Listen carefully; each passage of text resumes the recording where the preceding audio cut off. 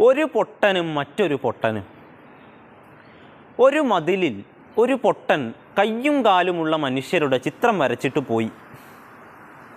ആ പൊട്ടൻ ഏത് മതിൽ കണ്ടാലും ഒരേ ചിത്രം തന്നെയാണ് വരയ്ക്കാറ്.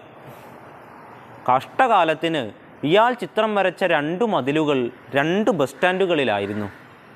ഇവിടുന്ന് കയറി അവിടെ ഇറങ്ങുന്ന ആൾക്കാർക്ക് ഇത് അതിശയമായി. ചിലർക്ക് ബസ് സ്റ്റാൻഡുകൾ പരസ്പരം മാറിപ്പോയി. മറ്റൊരു യാത്രക്കാരൻ പൊട്ടൻ ധരിച്ചു.